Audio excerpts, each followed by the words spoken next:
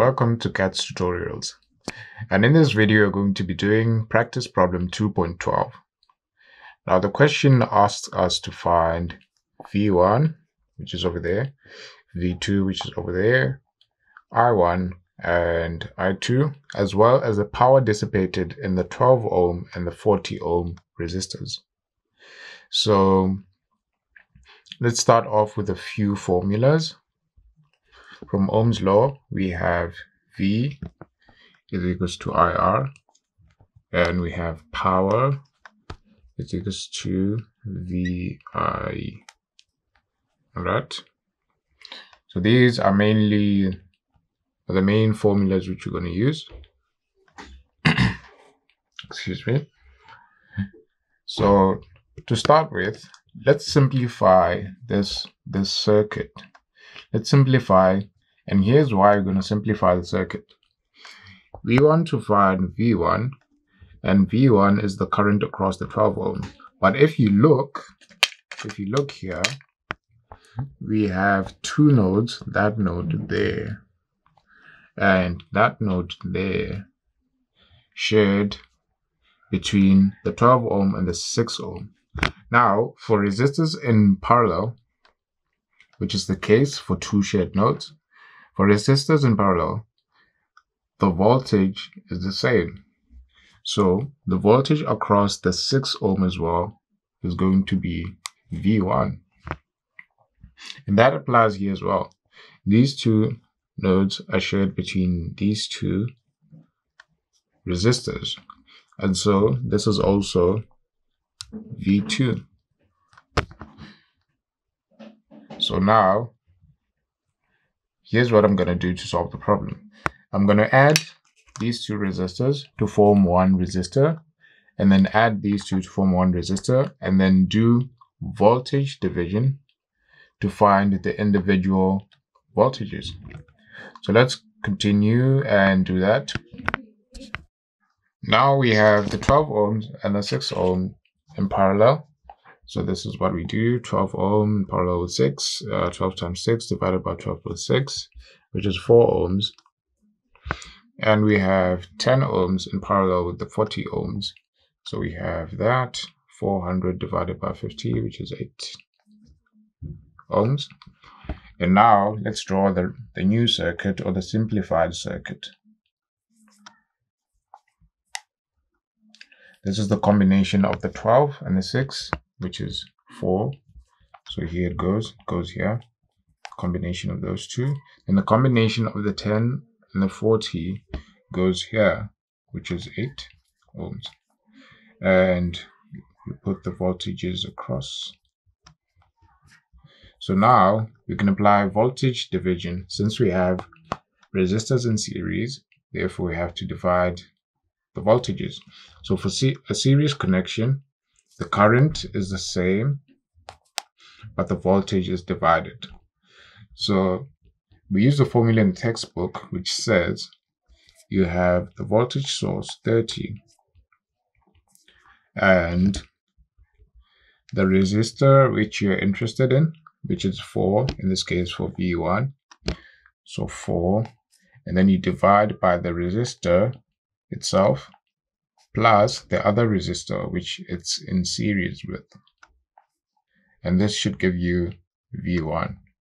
And then for V2, we do the same. Voltage source, 30, multiplied by the resistor value, which we're interested in, which is 8, divided by 8, plus the other resistance, which is 4. And we find our answer for V1 and V2. So V1 is equals to 30 times 4, which is 120, divided by 12, which should be 10 volts. And then here we have 30 times 8, which should give us 240. 240 divided by 12 should be 20 volts. All right. So those are the two answers which we have, or the two values which we have for V1 and V2. So we've answered the first part of the question, finding V1 and V2. Now let's move on to find I1 and I2.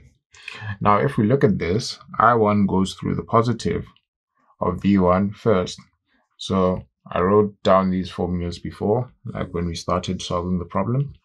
So let's use this formula saying V1 is equal to I3. So V1, we found V1 as found V1 as 10. So now V1, according to this relationship of the current, the resistor, and the voltage itself, V1 is equals to I1 multiplied by the resistor value, which is there, which is 12.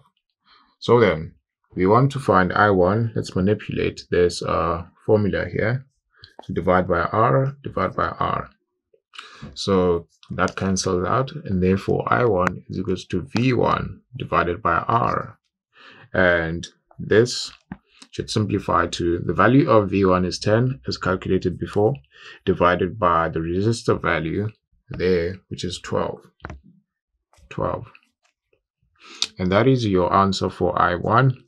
Punching that into a calculator should give you 833.33 milliamperes. Now moving on to find V2, sorry, I2, we do the same thing. So I2 will be equals to V2 divided by R. Now in this case, we have 40 as the resistance value and V2 we calculated to be 20 volts. So we just substitute those in the formula as well. So we have 20 divided by a resistor value of 40, which is 0.5 or 500 milliamperes. So we've now done the second part of the question. Now moving on to the third part of the question. Let me just move on to this side. Third part of the question asks us to find the power dissipated in the 12 ohm resistor and in the 40 ohm resistor. So we know that the 12 ohm is associated with V1, which is 10 volts, and also associated with I1, which we found to be 833.33 milliamperes, right? And we know that power is equal to VI, so we have V and I. So to find the power dissipated by the 12 ohm, we just simply plug in the values which are associated with it. So just simply do that, milliamperes. And that should give us 8.33 watts. And we do the same for the 40 ohm resistor, which is associated with V2 and I2. So V2 we calculated to be 20 volts and I2 we calculated as 500 milliamperes. And so power dissipated is equals to V2 multiplied by I, which we have here, milliamperes. And your answer should be 10 watts. And that is how you solve this problem.